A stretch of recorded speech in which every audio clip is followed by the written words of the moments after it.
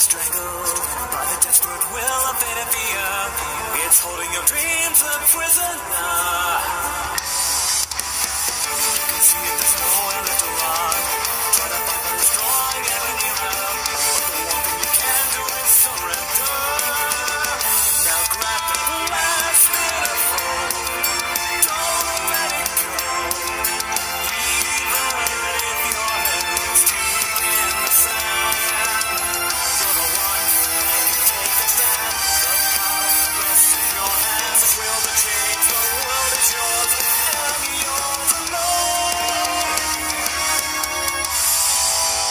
fighting.